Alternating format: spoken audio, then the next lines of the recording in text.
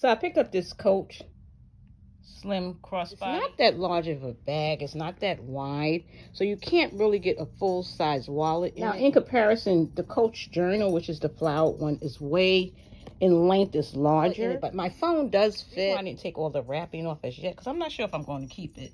But this is a metal tab at the end. You get a chain with this.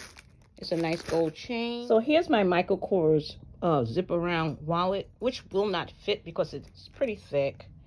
And uh, it does open pretty wide, so you can get lots of items in it inside here. I'm going to do a full review of this on my channel, Model Chick NY Luxury for Less. Let me know what you think. This also comes in a different pattern with the flowers. Should I keep her or should I send it back?